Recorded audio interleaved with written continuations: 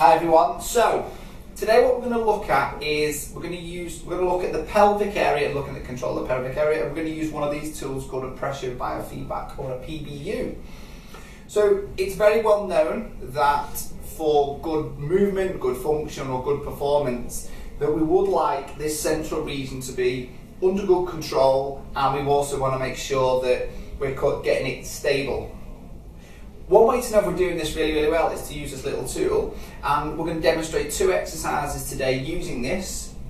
So David's very kindly already put himself into a neutral lumbar spine. So we've done this several times in other videos, but I'll just quickly run through it for you. So all we're going to get David to do is we're going to get him to push his lower back into the bed, and then he's going to arch his back Okay, and these are the two extremes of which our, mel, our pelvis and lower back go into. And all we're asking to do is find the middle of these two points. So Dave, if you can just have a little wiggle and find your middle. Okay. Now he's in the middle, what I'm going to ask him to do is going to pump this little tool up. Now what we will be doing is in the link below, we're going to stick the link on how you can get one of these. They're about 37 to 40 pounds at the moment in time. So what Dave's going to do is he's going to, now he's in this, he's neutral spine. He's going to maintain his neutral spine and he's going to pump this up to, on the dial here, up to 40. Okay, happy? Now while we're doing this, it's important to realise we'd like him to continue breathing and not hold his breath. This is a sign of cheating. Also what's going to happen is, we're going to ask him to maintain the dial on this, on 40. If it goes up or down, again, that's not an ideal position to be in. So Dave, you on the purpose of this, can you please keep on 40? No problem. Oh, okay, fantastic. Okay, so all we're going to do is we're just going to set it up. Okay, so on the knee, the hip and the foot all in a nice little alignment. And we're going to do two exercises. Exercise, first one is going to be a flexion extension of the hip and then we're going to look at rotation.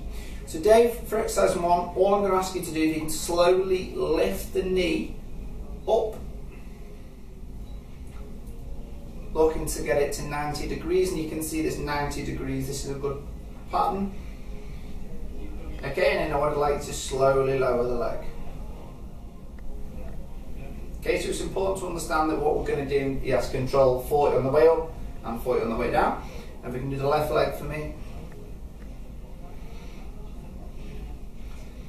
Now, for you guys doing this at home, it's important to think about that you are maintaining your breath, and thinking about the control. So what to make this on 40, you're going to have to make small adjustments to your lower back as you move through. I would rather you do slow and control rather than cheat. So just for show you guys one more time, so you can just lift this knee for me, please. Good, and then slowly lower. And again, lift this one for me, please. That's you doing really well. Okay, and then relax. Cheers, Dave. All right, feeling good? Good.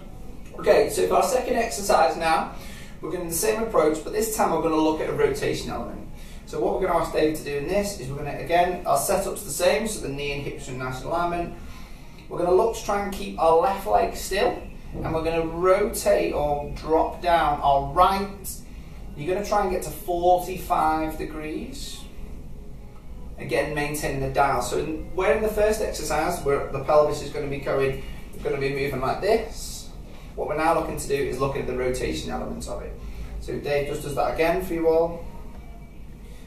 Keeping this still. And you can see the way as Dave gets towards the end of range, it becomes a little bit juddery. That just shows a little bit of room for improvement, and you should do this exercise more often. Okay, if you can just rotate this one out.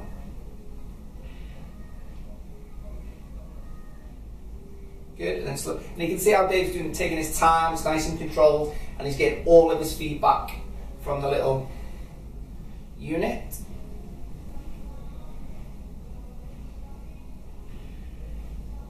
Okay, fantastic Dave, thanks very much for that. So, I hope you've enjoyed the videos. Very nice and simple way of just showing how you can get some precise and accurate ways of measuring how well you are controlling your pelvis and your lumbar spine.